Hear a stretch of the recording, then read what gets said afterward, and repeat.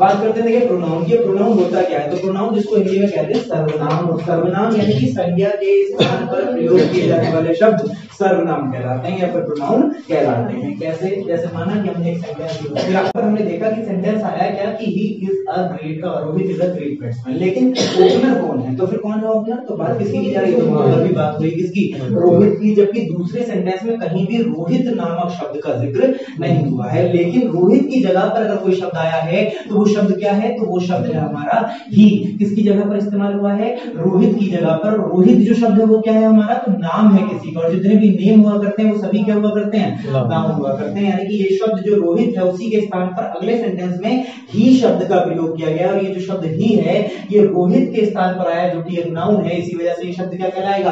Pronoun कहलाएगा। यानी कि वे शब्द जो कि नाउन के स्थान पर आते हैं वो प्रोनाउन कहलाते हैं। अच्छा इस बात से कोई मतलब नहीं कि वाक्य की शुरुआत में ही आएगा। हो सकता है बीच में आ जाए।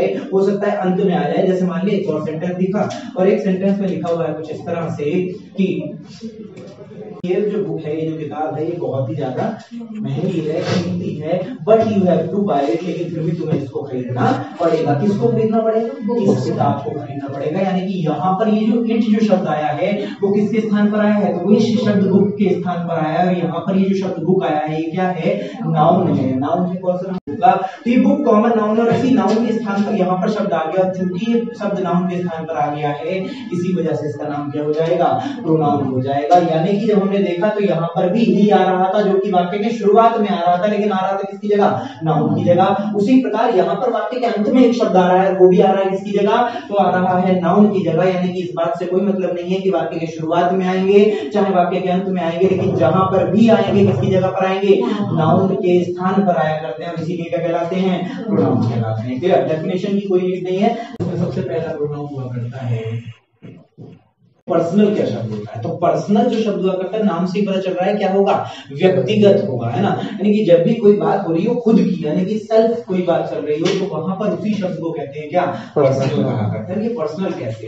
जैसे देखिए, जब भी हम कभी कोई भी कन्वर्सेशन करते हैं ना कोई भी बातचीत किया करते हैं तो उस प्रत्येक बातचीत में कम से कम तीन लोगों का इन्वॉल्वमेंट हुआ करता है। और वो तीन लोग कौन हुआ करते हैं? तो वो तीन लोगों में से पहला व्यक्ति वो हुआ करता है जो कि बोलने वाला है, दूसरा व्यक्ति वो हुआ करता है जो कि सुनने वाला है, और तीसरा व्यक्ति वो हुआ करता है जिसके बारे में बात हो रही है। जैसे मान लिया यहाँ पर भी हम कन्वर्सेशन कर रहे हैं, बातचीत कर रहे हैं तो इसमें बोलने वाला व्यक्ति मैं हो गया, सुनने वाले व्यक्ति आप हो गए, बात हो रही है किसकी? इंग्लिश की तो इंग्लिश क्या हो गया? वो आपका तीसरा व्यक्ति हो गया। तो इनको जो तीन पर्सन हमने गिनाए इनको हम फ़र्स्ट पर्सन सेकंड पर्सन और थर्ड पर्सन के नाम से जानते हैं। अब जैसे क्या हुआ तो हमने बताया तीन पर्सन हो जाया करते हैं, ये फ़र्स्ट पर्सन सेकंड पर्सन और थर्ड पर्सन कैसे कैसे इनको डिफाइन करेंगे?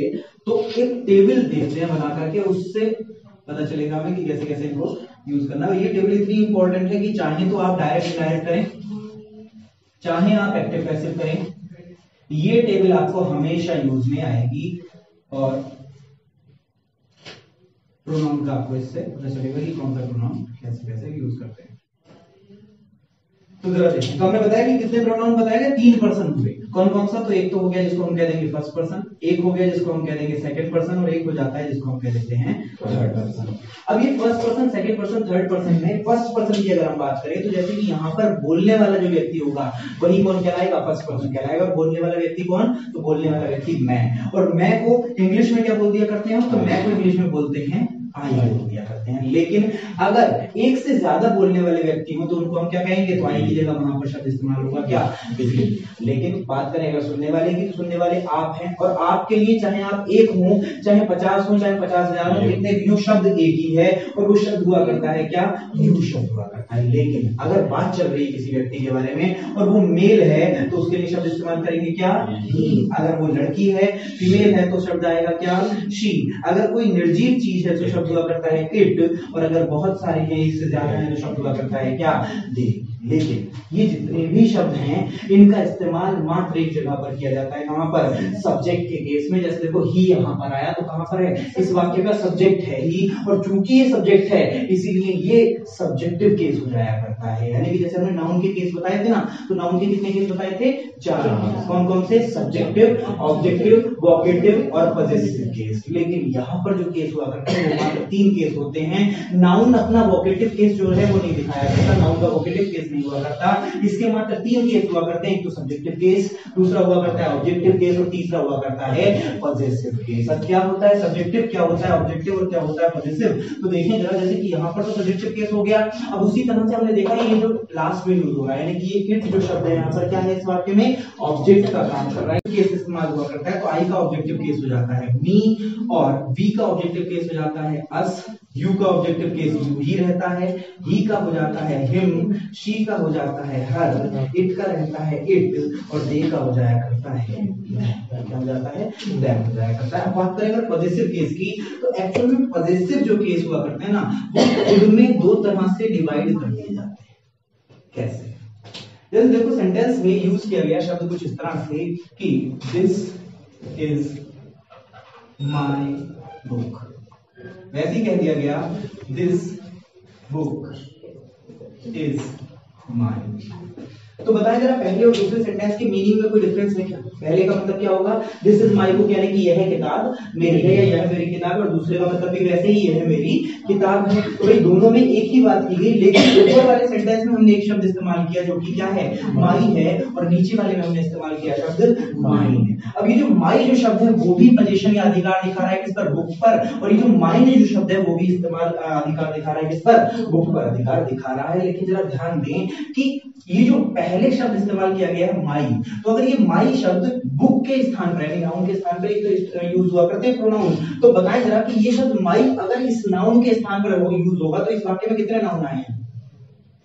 कितने नाउन है पहले वाले वाक्य में? कितने नाउन है? नाउन तरह तो नाउन मात्र एक है। कौन सा? मात्र ये शब्द बुक नाउन है। और अगर ये जो माई शब्द है इस बुक के स्थान पर इस्तेमाल होता तो क्या ये इससे पहले आ सकता था? जैसे मान लिया कि शादी का कार्ड आया तो शादी का कार्ड आया तो पापा जा सकते थे, आप जा सकते थे। दो शादी का कार्ड आज के समय में शादियों का सीज़न चल रहा है ना तो दो शादियों का कार्ड आया, एक में पापा चले गए, एक में आप चले गए। अब अंकल जी वहाँ पर मिल गए जिनकी शादी थी तो आपसे पूछा गया कि भैया पापा कहाँ है? तो आप क्या कहेंगे कि पापा की जगह पर मैं आना। अब मान लिया थोड़ी देर में जब अंकल जी टहलते टहलते अंकल जी पापा दिखाई दे तो अंकल जी आपको पकड़ेंगे तू तो पापा की जगह पर आया था। जब तू पापा की जगह पर आया था तो निश्चित तौर पे पापा पार्टी में नहीं होने चाहिए थे। यानी कि अगर ये माई इसकी जगह पर आया होता तो फिर ये इसके साथ कैसे हो सकता था? यानी कि इसकी जगह पर ये प्रयोग नहीं हुआ है। और चूँकि जगह पर प्रयोग नहीं हुआ है, इसीलिए ये प्रोनाउन भी नहीं हो सकता। यानी कि जो शब्द माई है, ये प्रोनाउन का काम नहीं कर रहा है, बल्कि ये इस बुक शब्द की जो कि नाउन है, उसकी विशेषता बता रहा है। और चूँकि विशेषता बता रहा है, इसीलिए ये पजेसिव तो है।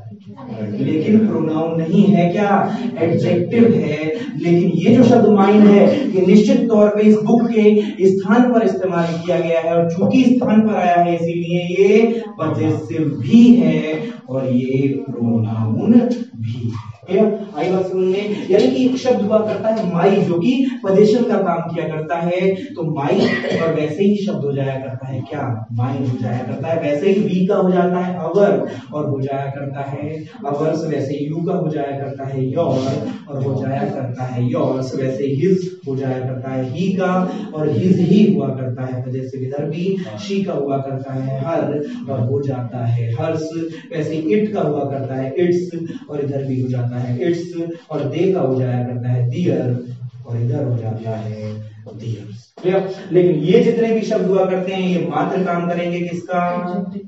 एडजेक्टिव का। और ये जो शब्द हुआ करते हैं ये काम करते हैं किसका? क्लियर